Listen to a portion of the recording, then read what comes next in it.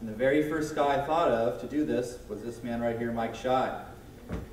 I'm going to read, I haven't read anyone's bio yet, but I'm going to read Mike's. He was a PGA, PGA member for 25 years, NorCal PGA. He's driven down here last night late, or well, day before, last night late, yesterday. The owner and director of the Instruction of Instruction Performance Golf Institute at Dragonfly Golf Club for the last 12 years. He's taught numerous nationally ranked juniors. He's an vector putting instructor. Works with several PGA Tour players and their caddies. He's the instructor and coach to the 2015 NCAA and U.S. Amateur champion Bryson DeChambeau. Now, I invited Mike before Bryson won those because I knew how special and different Bryson was. There's quite a bit more. He started the 40 Days to Better Golf program, and he's been fortunate to be a part of incredible young men and women's lives and has influenced them to strive for excellence in every aspect of their lives. And that's what he's going to do here with us today. Everyone, welcome Mike Schy.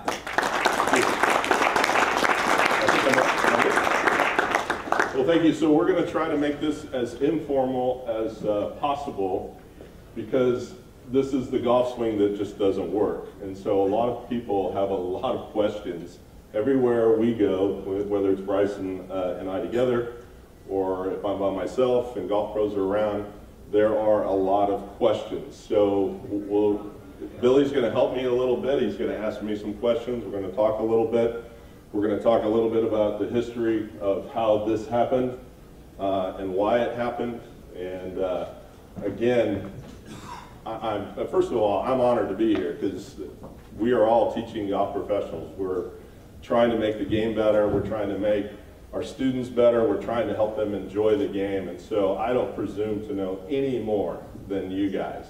Uh, I've been doing this now for well, 30 years. Uh, as a PGA member, just celebrated uh, 25 years this year. And uh, I'm just trying to make it better. And I'm fortunate now, I primarily just teach juniors and amateurs. Uh, I do have a few pros that come in every once in a while, uh, and a couple of caddies uh, was very fortunate to work with uh, Rickie Fowler's caddy for a while, and that was kind of fun, and we've become really good friends, uh, and so on. So again, my goal is to, first of all, Bryson DeChambeau is a great young man, and that's the most important thing to me. That these kids, they're all high achievers, they're good kids, they do things in their community, they give back, and every once in a while they do something very, very special, like win the NCAA and the uh, U.S. Amateur Championship. So uh, where do we start? I think normally everybody asks about the clubs first, and we can start with that a little bit. So uh, uh has everybody heard of Bryson DeChambeau? I'm assuming most of you have heard him. Has any, who watched the U.S. Amateur? Did you guys watch the U.S. Amateur when he fired me, according to outside, we got in a fight on number seven or something, something happened like that. Uh, I worked with Bryson since he was 11 years old. Uh, he actually came to me one day and said, I want you to be my coach. At that time, his dad was teaching him. I said, you need to go back to your dad, have a conversation with him, and let him know that he's no longer your teacher or coach, that, that I'm going to be your teacher and coach. And he did. Like you said, he was like 11 years old, came back the next day or a couple days later and said, all right, we're in, we're going to go, we're going to do this together. Uh, my facility, uh, what I do, I don't really do half-hour lessons or hour lessons. He averaged, I would say, at least 20 hours a week with me from the time he was 11 until he left for uh, SMU.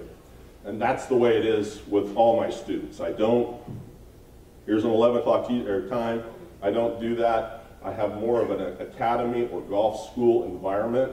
Uh, you'll see in a video, kids come in, I have a 1,600 square foot tent. Uh, we just found it was too expensive to build a building, so we had a tent instead.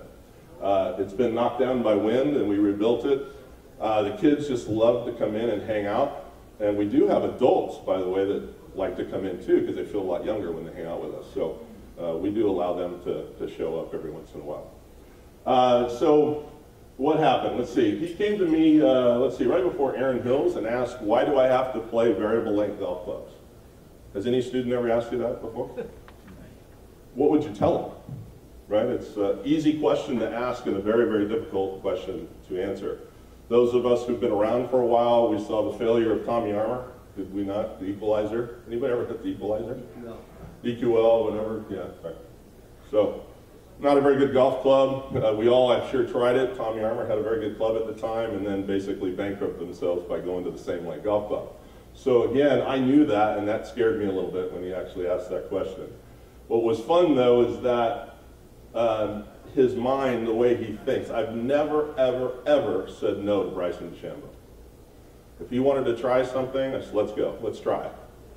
Even though it might cost him a golf tournament because he would win a lot of junior golf tournaments, but he cost himself a lot of junior tournaments as well because he wanted to try something. He wanted to experiment with something. And so at the at Erin Hills, he asked me that question, and we went, came back home and we started tearing golf clubs apart. And the first set, which I have a couple of them here, and I thought I'd pass them around. You can kind of see uh, some things that we did a lot of you, and again, I'm a Nike guy, and so I'll make fun of Nike just for a minute. So some people would say this would have made this club better um, at the time. You can get that joke, that's all right. And so uh, this is a combo set, and if you leave, see, Bryson was 17 at the time, and you leave a 17-year-old alone at a grinder, this is the club that shows up later. And so uh, these were 37 and a half inches long. Uh, we did a sand or 60 degree all the way through a three iron. And uh, we made all the heads at 285 at that time. And uh, what I did is I put a six iron dynamic gold shaft in, this is the SL shaft in this one. Um, and he went out, played with them, won a junior tournament like a week or two later, said, I really like this, now what do we do? And so I was gonna pass this around, if you guys wanna just kind of check those out. Nothing special, just kind of a fun history and story. Uh, after that, uh, we went down, uh, let's see, he had been playing some TaylorMade clubs, and uh, this is kind of a funny story. And, and so, and again, the Nike were, were the experiment. Tim Hewitt at the uh, Kingdom is a good friend, and he said, hey, I kind of like what you guys are doing, and I'll send you some throwaway heads. And he had the CB heads. And uh, he sent me heads, long irons that were too heavy and short irons that were too light and we put them together. And again, Bryson liked them and, uh, played with those. We went down to the kingdom. All the fitters had heard about Bryson. His dad went with us. His dad was bent on us. At that time, we were going to go back to variable length clubs, as a parent would probably get involved at that point. So what happened was they got his golf clubs, spread them all out. I mean, all over the, they had them all on the range, all on the ground. They were laughing at him. They were telling us this doesn't work, can't work, will never work, it's been done, so on. So the thing that I asked them to do, I said, before we move any further, I want you to watch Bryson hit his sand wedge to the three iron. And he's going to hit every club at, a, at his club head speed at 90 miles an hour, from sand wedge or 60 degree all the way to. And he's going to have 15 yard exact increments between each club. No way. I said, put one TrackMan, let's just do it. So anyway, they did it. He did it. Uh, Brad, I can't remember the guy's name, he one of the top fitters there. He said, I fit every tour pro that we have on staff, and I've never seen anybody do that, ever. So we're in. We want to build them a set. About 45 minutes later, they came back with a set of golf clubs. Again, we had to grind some of the short irons and had to add lead tape, so the integrity of the club was still a little bit off. Bryson did very well. He performed fairly well at a couple of USAMs. Um, at one point, let's see, this was going into last year, Bryson had a 60% chance of finishing in the top five of every golf tournament he played in. That is unheard of. During this process, we figured, well, we need somebody to actually build a club from scratch, in other words, from a block of metal. And that's where uh, David Edel came into play, who owns Edel Golf. He's uh, primarily known for his putters and uh, wedges, and he's an artist, does watches, uh, and so on. So just a great guy, very, very good friend, loves the game, PGA member, and a good friend of Bryson's as well, and he started making Bryson's golf clubs. So if you look at those Nike clubs, I think those the lie angles on those on those clubs were right around 65 degrees. The club I'm going to pass you around now, which is uh, basically a copy of what Bryson is using uh, right now. This is a 72 degree Mike? seven iron. And is it worth knowing? That's about between six and seven iron, and that's about four degrees upright? Yeah. Sixty-one-ish is the number? Yeah, yeah, sixty-one, So they're sixty-two. four degrees upright. Yeah, Yeah, so these are seventy-two, so it'd be classified as a ten-degree upright golf club. Okay, doesn't work. Looks pretty good though, doesn't it? Does it look okay? You guys okay with that swing? How, how tall is, how tall is Bryson? About six feet tall. Not a big Okay. guy? Yeah. He's got kind of long arms for six feet. Yeah. So, and what's fun about Bryson, and this has taken us just, and again, I'm going to bounce around a little bit. Um, he's a lot of fun to teach and to hang out with and, and so on. And I've been on the injured list as well. I had a very, very difficult, crazy year this last year. I had uh, two of my children get married. Uh, in between those weddings, my mom passed away. The next weekend, he won the NC2A. A week and a half or two weeks later, I caddied for him, or I made it one round uh, at the St. Jude. I got injured. And then um, uh, I decided, because I had caddied for one of my students at Olympia Fields, that I think I could make it pushing the rickshaw, which wasn't a pretty sight. In fact, the week after it was over, he looked at me and he said, So you walked 90 miles. How did that happen? Because he knew that my feet were in terrible shape.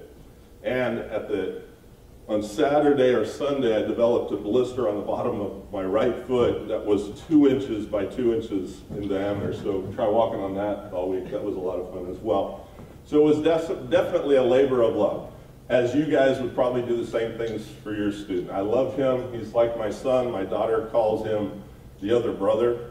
Uh, and it's really kind of fun to watch her beat him up quite a bit. It- it's just a great relationship. My family has bought into what I did. I could not do what I do without my family and their support. Um, because of what we do, my phone is, is literally available 24 7. Bryson calls me after every round of golf. So do most of my other students as well. They want to go through their rounds. They want to go through where they failed in not doing the process. I love that term. Okay, we talk a lot about how we do a process. Step A, B, C, D, one, two, three, four, whatever that might be. Are you doing your work when you're playing? The other thing that we've tried to do, one of our goals right now, we're trying to take the word feel out of our conversation as well. We can talk about that a little bit later as well. And so again, my goal and the students' goal is to just to do their work. Trust what they do, do their work. All the results, all that will happen. Okay? So, this club, I'm going to send this around. Uh, again, uh, I did an interview with uh, PGA Tour um, Radio, and for some reason, their first question to me was, why doesn't Bryson hit a 60 degree 160 yards? Because it's the same length of a centimeter. Okay? So, um, everybody knows why? Okay. All right. So me being kind of a smart aleck at that point, because I couldn't believe that was the first question, I started getting into the aerodynamics of a golf club, and that a uh, 60 degree has more drag than a 30 degree. And so, and they really liked that conversation again. Okay, he just, it, it does what it does. Right, it's got loft, you know, so anyway. But that was the PGA Tour radio. So uh, again, uh, we'll, we'll go over some of his uh, thoughts and what he does. I don't teach this to everybody. I have about four students that are using same length clubs. Uh, I did have a student, or do have a student, who's only been playing golf for about four years. Uh, she just got a full ride scholarship to Kansas State. And uh, let's see, she, we got her a same length set of golf clubs. Within uh, a year and a half of that, starting, she qualified for the U.S. Girls proceeded to hit uh, 15 greens and 16 greens uh, in Arizona at Forest Meadows. Um, she's this. I love this girl. She's such a good kid. We're on the range. She's crying because she's never been in that environment before. I mean, bawling, literally bawling. What do I do? What do I do? I can't hit my five iron. Why can't I hit my five iron? I look at her and I go, Well, Hayden, it's the same as your eight iron. And she looked at me and she said, Oh yeah, that's right. Just started nailing. You know, again, it's just the little things that seem to work every once in a while. Uh, again, I'm a big believer that I, I really think that same like golf clubs, especially in the irons and possibly hybrids, could help us in developing golfers. Again, I've taught for 30 years. Give the student, new student, an eight iron or seven iron or whatever it might be. You teach them and they go, what about all these other clubs? They go to their five iron or whatever and they can't hit it. That seems to not happen when you're using the same length set of golf club. We see them, it's much easier to hit, it's much easier to go from swing to swing. Uh, there's not a lot of thought uh, that goes with it. It is a bit difficult in the process to build, but we're doing some things right now because of what's happened, and the industry is a little bit excited about what we're doing, um, where we might see some same length sets uh, come out here soon. Uh, let's see, what else? Well, I got a question. Yeah. Who here thinks that it's actually a pretty smart idea to do that? I, mostly good players and good teachers I've asked a lot lately, and they think, yeah, that's a great idea. So, that to you, Eh, more hands are popping up. Okay. The rest never considered it, doesn't seem right. You know, don't be ashamed, yeah. Would, in your head, and this is what my dad said, I told my dad about this set of clubs, he goes, imagine how good he'd be if he used regular clubs. Does anyone think that? Yeah. And by the way, his, his variable length set that he started with at 15, he was five degrees flat on those when he started. And he was a good little player. He had uh, 15, I think he finished top five junior world, so he's, he's been a good player. Uh, as you can see, there are big grips on the clubs as well. Uh, we partnered with a company called Jumbo Max, a small company out of Florida. Great bunch of guys. You've probably seen the guy who wears the dress in the Golf Channel commercial. Um, and one of the things that we were doing, this was about the state five, four years ago, uh, and Bryson had a normal grip on his golf club, and he was gripping it somewhat in the fingers, but he wanted to grip it more in the lifeline. And one of the problems that was happening was because of how he throws the golf club, he had some wrist issues. And as soon as we put the big grip on, he could grip it in his lifeline. There was no problem to hold on to. Any, all that pain went away uh, virtually instantly, which was really kind of cool. Uh, it's a pretty big grip, as you'll see. Uh, the, the grips weigh about 120 grams. Uh, the typical, his golf clubs weigh 500, right now 516 grams, every club. I mean, right on 516, not 517 and 516, because if you gave him a 517, he will go insane because that's the way he thinks. Again, physics guy, somewhat of, a perfectionist. Um, that's why when I drew that line, at impact, he typically, he's always had fairly high hands at impact. He just said, well, why shouldn't, why don't I start there? And so that's kind of the direction that we went. It just made sense to him. He didn't like the idea of the club elevating to another plane line. He just wanted to keep his hands in the club on one plane. It just, to him and his brain, it just made sense and thought it would be easier. Not necessarily the easiest swing to do, but it's very efficient. Would you say Mo Norman had something to do with that? Yeah, I, we talked about Mo. I was a Ben Doyle guy, um, a golfing machiner growing up, and Ben would always show us Mo Norman, so I knew about Mo. And obviously on YouTube, you can see lots of Mo. Uh, he kind of liked Mo. Every once in a while, somebody thinks that he's like Mo, and but he's not autistic in any way. He's just very, very bright, um, and he's actually very personal. I don't know if you've seen him on interviews. He's, great to talk to. Um, but yes, that was that was definitely one that he looked at. He even tried to mimic it. Well, he can mimic his swing. He can almost mimic anybody's swing. Mimics Hogan's swing really well, um, and so on. But he just felt we just did it a little bit differently. He's much more rotational. There is no weight shift in his golf swing. He keeps all his weight. We've had him on BodiTrak. I have weight boards. Uh, his weight virtually stays perfectly center. Um, so you can say it's a center pivot or whatever you might do. He tries to keep it all over his left hip joint and rotates around that. So that would be his uh, axis point and how he swings. He doesn't have what he would say, like most would say, let's try to maintain angle. He actually throws the club from his shoulder. He wants the club releasing as soon as possible from the top of the swing. And you'll see, uh, we'll do, uh, face on. But you keep this in mind, both Mike. Yep. Mike has a strong background in the golfing machine, as some of you know. And that mostly golfing machine that's used Ben Hogan as a model who had quite a bit of lag. So everyone thinks, oh, golfing machine, tons of lag. But again, it's another way. It's one of the patterns available, and you'll watch this lack of narrowness, extreme amount of width. One of, one of the things that when I asked, when somebody asked me a question, I thought Homer answered most questions I thought really well. It depends. I try not to give an immediate answer. My first answer is always is it, it depends. And so when he started working on this and trying, and again, one of the things that I try to do with my students is I want them to own what they do. Like, again, I, it was yesterday, uh, Jamie talking about Furyk. I, I mean, is anybody teaching Jim Furyk's golf swing right now? I thought he hit it pretty good. I'm trying to figure out why we don't teach that golf swing.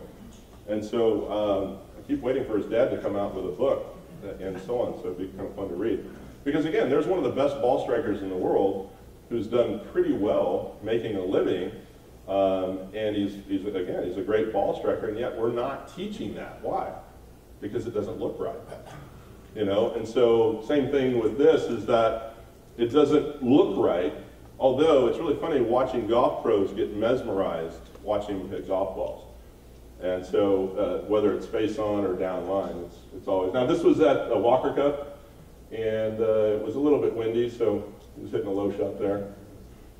Uh, he did had a great week. Other he got hurt a little bit in his neck. We've discovered that that is in his backswing, the shoulder was kind of scrunching a little bit, so we've tried to get rid of that. That's what he's working on right now.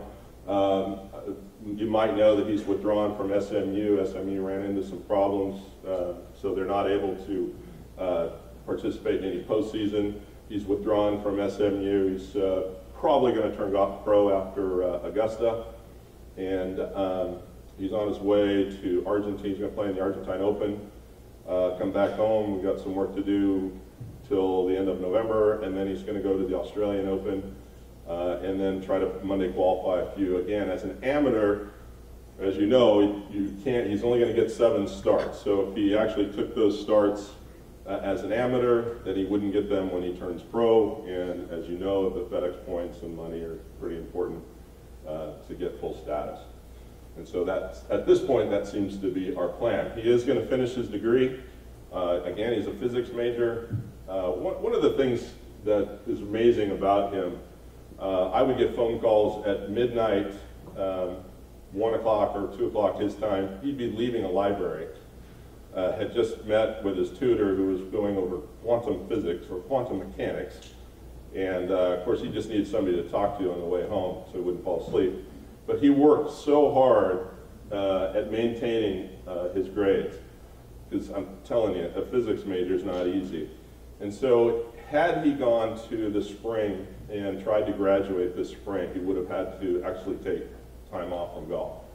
Uh, he had labs and things that were mandatory that just, you can't play golf. And they had told him that if you're going to try to graduate in the spring, it's just not, that's not going to work. So he's going to take his time over the next year and a half and, and try to get all that done.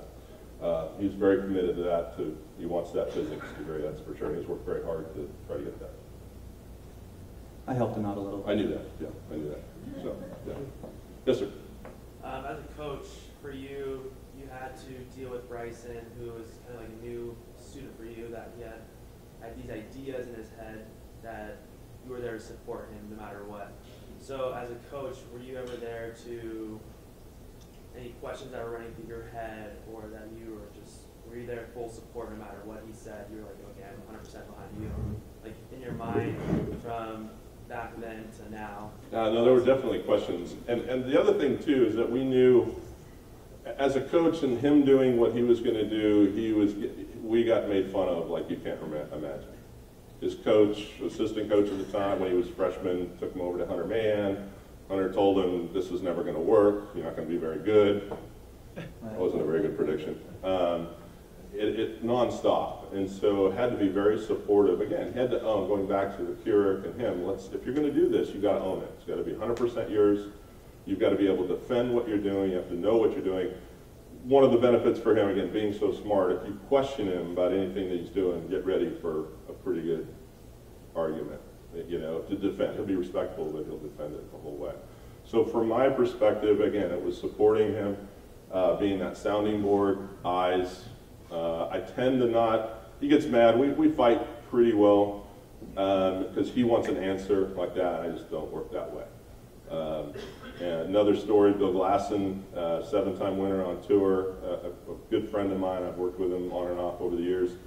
And same thing, it's never going to work, never going to work. He invited Bryson to play in a pro scratch uh, last spring uh, at Oak Tree. He called me up. He said he just put on the greatest exhibition I've ever seen in golf. And Bill Glasson doesn't say anything nice about anybody, for those of you who know. And so, uh, which was pretty, pretty impressive. And Bill, again, one of the great ball strikers in the game when he was healthy as well. Yes, sir. I got a question for you.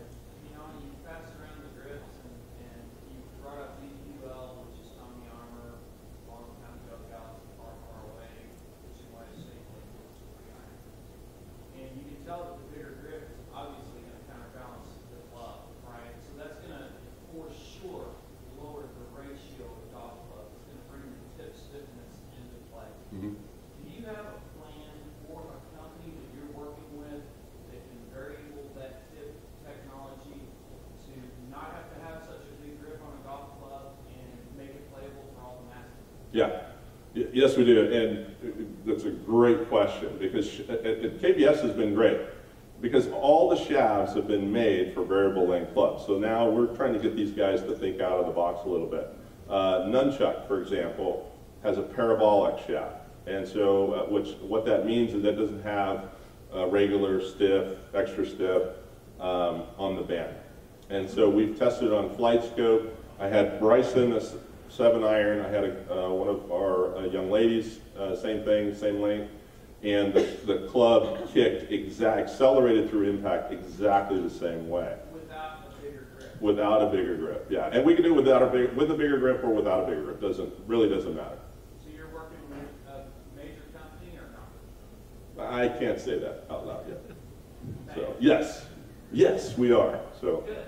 So, uh, yeah, it, it's going to be fun. We're, we're real excited about the, the possibilities. Um, when we did some work with TaylorMade, uh, TaylorMade kind of snuck in a set. I kind of caught them. I was back at the tour department, kind of walking through, and I noticed there was a set against the wall. I knew it wasn't Bryson's, and they, of, yeah, we're testing it. We think there's something to this.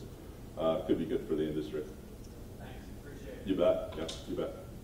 Yeah, and just again, I don't, I don't have all my students play big grips. I have a lot of them that do. Um, one of the reasons why we like the big grip is that we found and we know that grip pressure tends to change through the golf swing, and we found that with the bigger grip that that subsided quite a bit. Um, grip pressure tended to be lighter. Uh, golf is one of the only sports uh, that's using something, you know, let's say like a tennis racket. You've never seen a small grip on a tennis racket. Ping pong paddle is always big. Golf, for some reason, has a very small handle.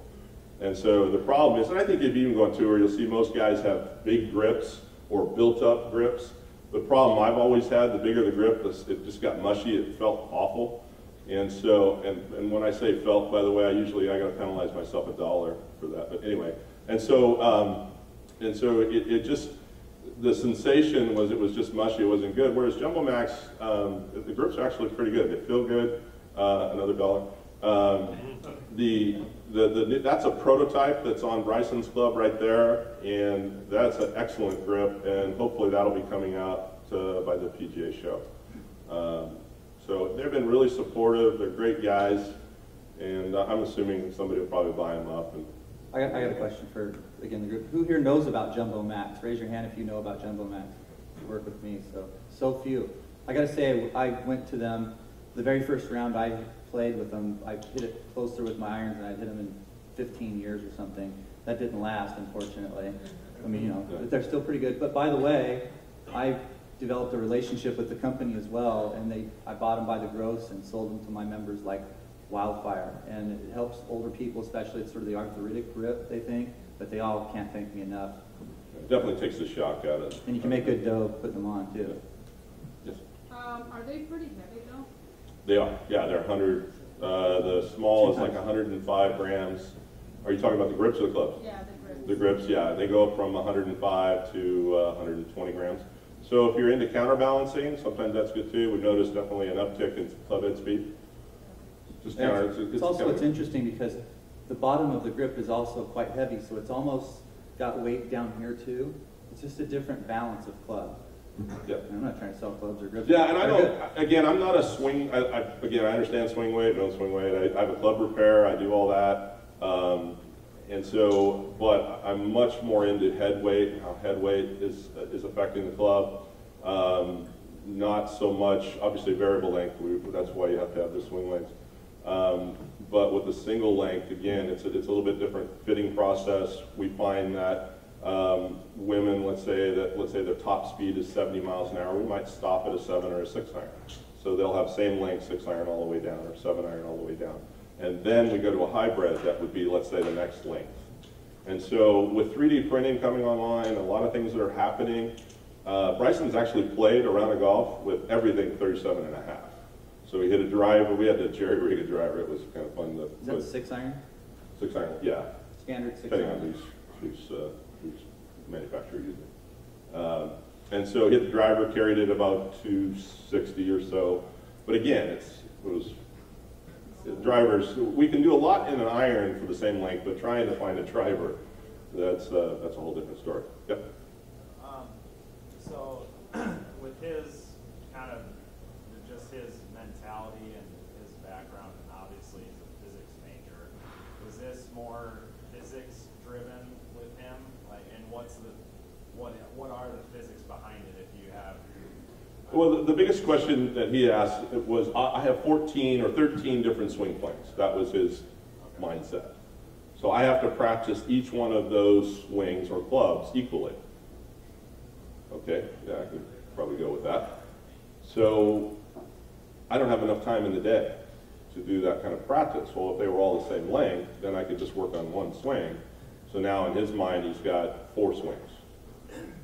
So that's really where it came down to. Now, the physics end is understanding the head weight to, to velocity, to loft, and what that will do to distance.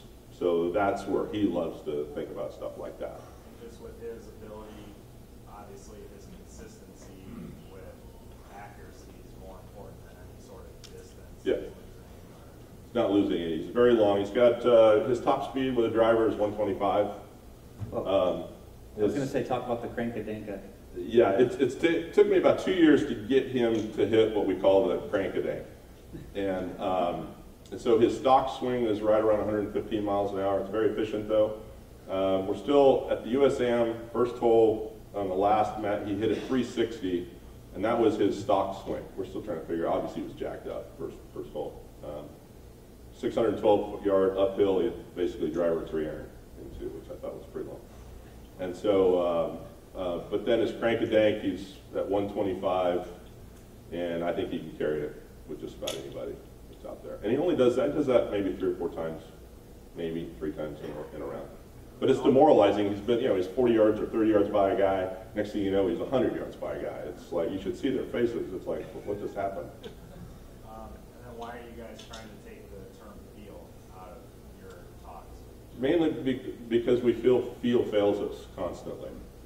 And so if we rely and feel on feel, especially in a situation like, let's say, leading or winning the U.S. Amateur and can't breathe. So what do you have to rely on? Well, we constantly went back, rely on what you do. Trust what you do, your mechanics, because that will not fail you. If you're trying to find a set, you couldn't even feel his hands, you know, at that point. So we had to go back to, okay, what do I do? And let's do that. And so we, you know, you watch players all the time. I mean, they're nervous. You can see their breathing habits, uh, everything changes. And it's important, obviously, to do that and to learn how to breathe in those situations. I've talked to guys that are snipers and how they go through their breathing routines. We go through that. But again, to me, it's, a, it's the process. Make sure the process is being done. It Doesn't matter. The situation of winning a tournament, out of bounds left, water right, all that is all illusions. It's not going to kill you, right? But you're trying to gain a, okay, I got to feel something. And so we're trying to get away from that conversation and think of more being committed to the process, doing what we do. So we work on our mechanics. Our mechanics, we can trust those. We know that if we've done it right, and we go through the process, pull the trigger, hopefully we'll have a good result.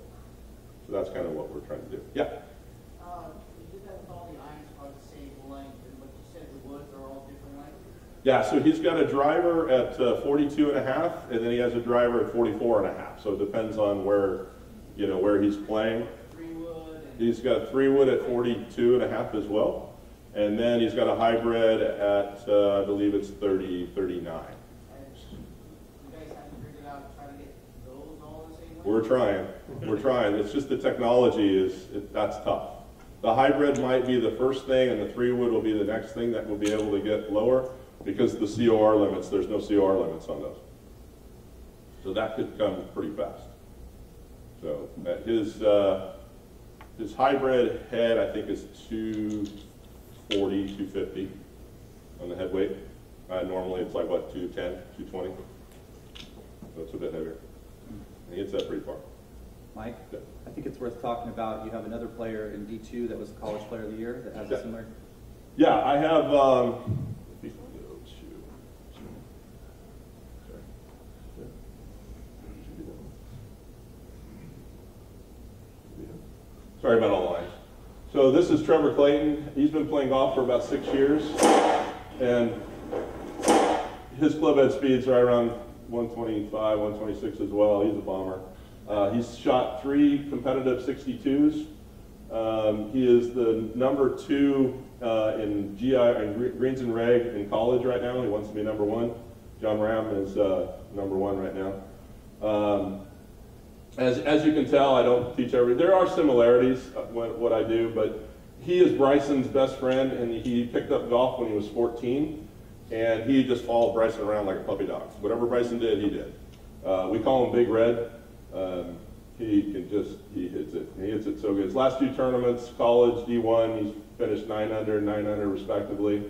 Um, he is uh, coming along. He's a great kid. We're really excited about what he's doing. Just shot 60 last week um, at a pretty good golf course. Um, so we're, we're excited about what he's going to be. And I like to show this just to show people that, again, because I don't want to be put in a box.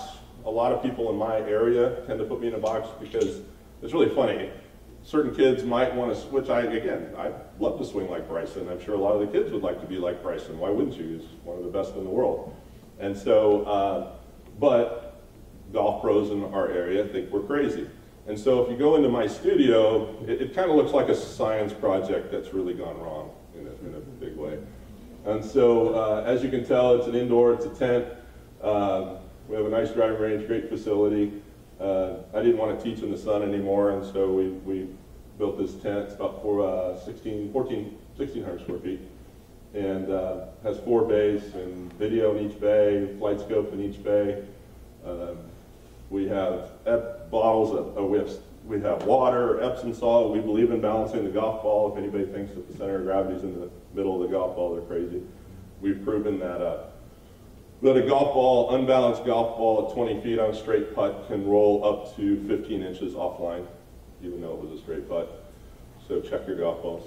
Um, so we balance all our golf balls. We soak them in Epsom salt. Anybody remember the day Hogan used to do it? wait, by balancing, you mean you get rid of the ones that aren't balanced? Yes, we go through uh, probably every dozen, probably two to three golf balls are unplayable.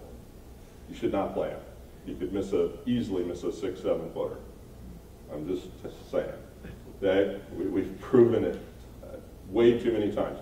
Um, what we do is we put a golf ball in Epsom salt just below water level. It'll tend to go, the heavy side will go to the bottom, light side top. And then what we do is we'll put uh, 30 milligrams of lead tape on the golf ball. It flips over, that would be playable. If it doesn't flip over, we've got to put another 30 milligrams of lead tape on it. And if it flips over 60 milligrams, is fine, we'll play that. Anything over 60, it's out. I've had to put 240 milligrams of lead tape on a golf ball to make it flip over. Now, does everybody hit a ball with mud on it? What does it do? Yeah, good luck with that. So, so you're literally, you could be playing a golf ball that is not going to fly straight. Okay, we've, again, we've, pro- we- we've proven it. Bryson even went to the tour department, said, am I playing the same golf balls the tour guys are? They said, yes. He said, well, let me show you what I'm doing. And then they said, oh, Bryson, you're not playing the balls that the guys on tour play.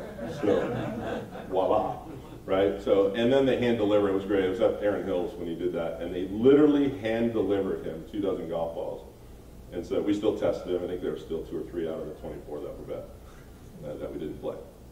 And so, and Bryson gives those away, which is always great. You know, give them to a kid, make him hit it bad. So, uh, which is good. So again, but we do this just again. So it maybe it does, maybe it doesn't work. We've proven that we know that it can affect you. Uh, you watch a guy on tour; he goes through a ball every two, three, or four holes. Next thing you know, he missed a six footer. Was that him or was that the golf ball? Okay. I've not once, uh, maybe once, where I've used the logo, where the heavy side would be directly below that, so it would roll end over end. Usually it's always off center, usually the logo or the, where it'll, the little fine line like the, uh, the- the pro, the X, where it's on top, it's on the seam, it's usually the CG is off from the seam, which is pretty interesting. So it's kind of fun, fun to do. Kids love to do it. They're all, I mean, it's, know, they, my place is a mess every once in a while, every day. And so, and for some reason, I'm the one there at the end of the day vacuuming and, and so on. Although Bryson now has learned how to vacuum, and uh, so when he's there, he'll get there usually a half hour before me and, and, uh, and vacuum and do his thing and, and keep things nice and clean. So, uh, are we doing, we doing all right? Very good. Yeah. Mike, uh, you want to talk? Sorry, go ahead, Alan. About the golf balls. Do you mark the light spot and then, Yep. do you like a stripe on the, on the ball? Yeah, we actually mark the top of the golf ball that's now playable, and then we'll draw a line. I'm a big believer in a line. You know, uh, but again, we've done a lot of testing there as well. Uh, don't assume that your players can aim a very fine line on a golf ball. Some would aim, let's say, a, let's say like a range ball that's thicker. They might aim that better. I've had a lot of tour players that just give up sometimes on aiming the fine line because they're perfectionists. And so they just feel like they can't get it. As soon as we give them a wider line, it's like, okay, yeah, that's easy. So test that with your students. It's really good. They get a little wider line and they're more confident, or multiple lines. I've got some students that use three lines on a golf ball to aim. And what that does is it just makes the line look wider. So it's easy to target that way. Where do you get the weights to test the ball? Lead tape, just lead tape. I just cut up lead tape. Yeah, it's just very small. I'll send, I'll send you the PDF. many milligrams did you say? Uh, 30 milligrams, which is not very much, by the way. But it can make a big difference. When I got, I had a TaylorMade ball and it was 220 milligrams. That was the freakiest thing I've ever, I mean, it was like I had a glob of lead tape on the top of this ball that finally flipped over. I'm, I'm thinking, oh my gosh, we're playing this golf ball. You know? Think about if that's off center, where that might go. So just, once again, it's not our fault. It's our equipment, so. Right? It's never the tour player's fault. You ever had a heard a tour player say it's their fault? Yeah. Mike, can you talk to us a little bit about lining up the line? To me, play was slow before. Right. The kids and the adults spending all that extra time lining up their lines and what the better players do finds its way to the 18 handicappers.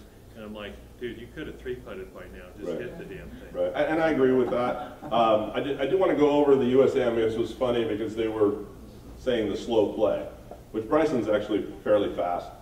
Um, it's match play. It's called gamemanship. And so we knew exactly what was going on, when to slow down, when to speed up. Greg Norman was waiting for us every morning, and he said, I don't care what anybody else is saying, you guys keep doing what you're doing. He goes, Seve would have loved what you're doing. He goes, I watched Bryson, he's running. And the next thing you know, he's behind. And then he's kind of in the guy's line, then he's not in the guy's line. And you could tell, it's all gamemanship, that's all part of it. And so, um, a guy like Paul Dunne, I really appreciated because he was warned a number of times. And I tell you what, they didn't penalize him, and he's very, very slow. He stuck to his routine the whole time.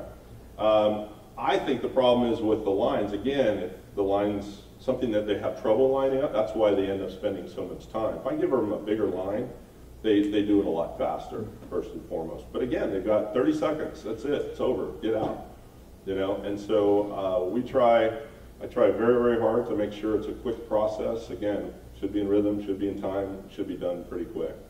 Uh, I think, again, the problem with kid, again, they all are going to follow what the tour players are doing, and everybody lines up a line, right? So the, the, the problem with that, if you don't practice that, that's why it's going to take you forever to line it up.